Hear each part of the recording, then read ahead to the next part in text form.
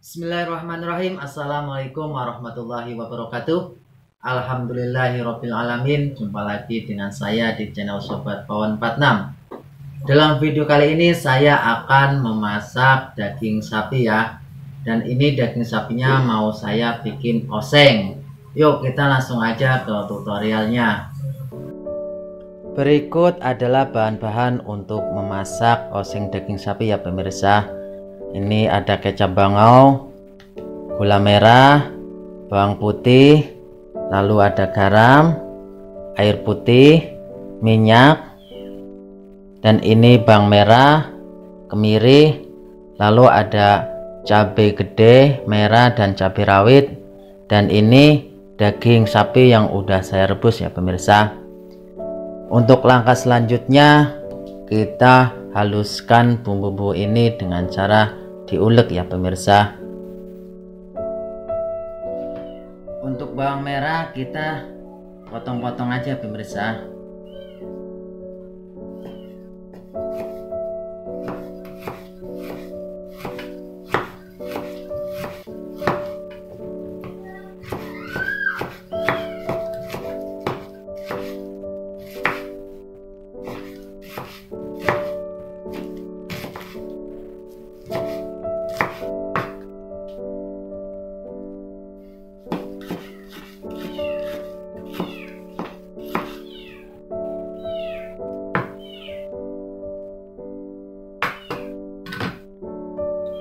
setelah itu kita haluskan bumbu-bumbunya yang lain. Yaitu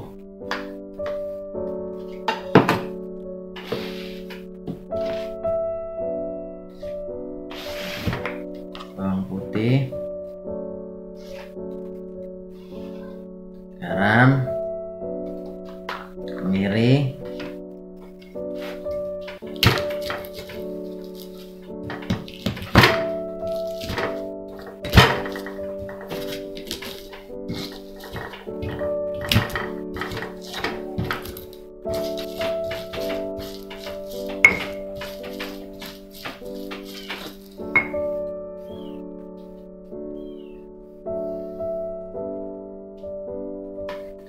kita masukkan cabai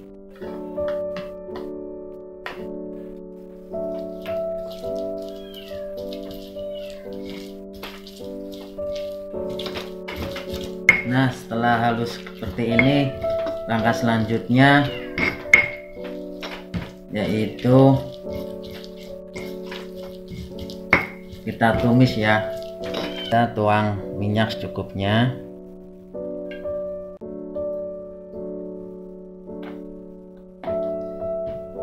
Tunggu sampai minyak benar-benar panas.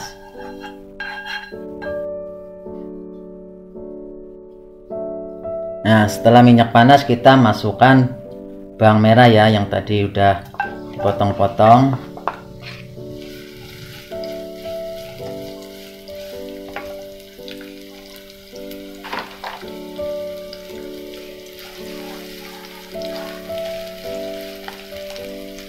Kita tumis bawang merah ini sampai agak mengering.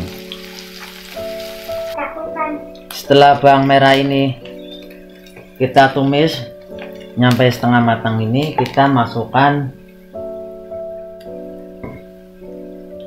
cabai ya cabai yang sudah kita ulek tadi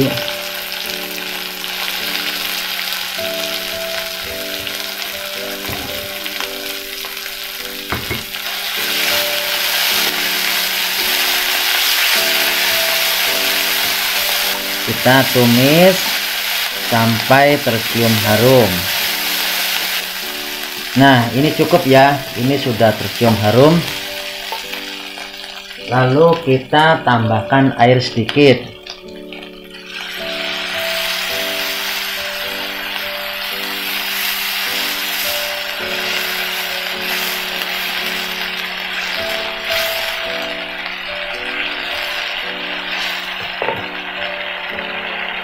setelah itu kita masukkan daging yang udah kita potong-potong tadi ya pemirsa.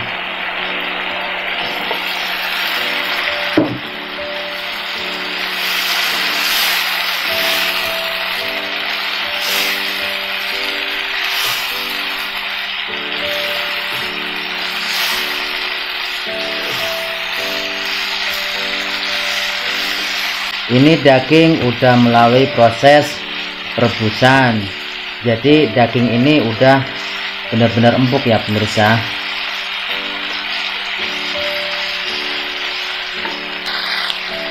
Oh iya tadi gulanya lupa pemirsa. Kita masukkan aja ya nggak apa-apa. Nah setelah bumbu-bumbu ini meresap ke dalam dagingnya kita masukkan kita tambahkan kecap ya pemirsa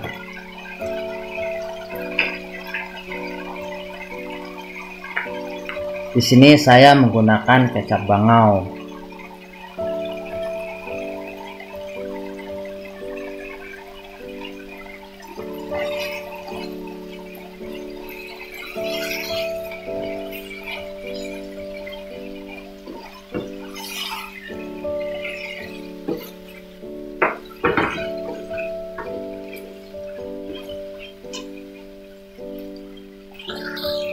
Nah, setelah tampilnya seperti ini, itu artinya ini sudah matang ya pemirsa.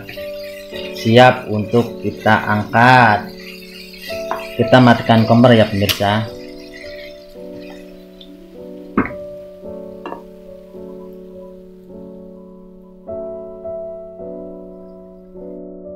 Nah, setelah itu kita tuangkan ya oseng-oseng daging ini ke dalam wadah.